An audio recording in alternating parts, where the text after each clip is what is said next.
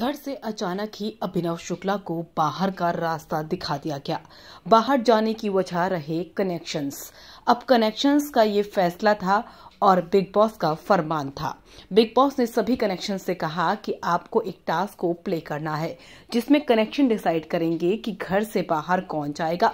और ये shocking eviction होगा, क्योंकि कल अर्शी बाहर चले गई और अचानक ही शॉकिंग इविक्शन क्यों हुआ? अक्सर हमने देखा है कि मिड वीक इविक्शन होते तो हैं, लेकिन वो अक्सर नाइट में होते हैं और इस तरीके से होते हैं कि कोई बाहर का इंसान फैसले नहीं करता है। घर के इंसान के फैसले के आधार पर ज़रूर ये सारी चीज़ें हुई हैं।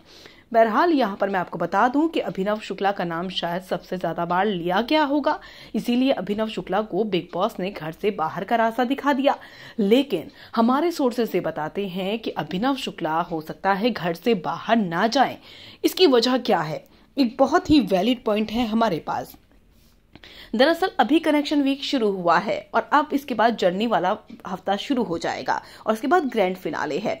ऐसे में अभिनव शुक्ला को कोई भी घर से बाहर अचानक जिस तरीके से बाहर किया गया है, उसे लगता है कि उन्हें सीक्रेट रूम में भेजा जाएगा और उनके साथ राहुल महाजन भी सीक्रेट रूम में जाएँगे।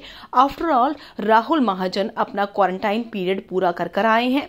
इवन कोविड टेस्ट भी करवा कर आए हैं। अब कोई बेवकूफ़ तो है नहीं जो कोविड टेस्ट करवा कर और साथ ही क्वारंटाइन पीरियड सात दिन होटल में अकेले पागलों की तरह निकाल कर उसे घर से बाहर कर दिया जाएगा एक ही दिन में।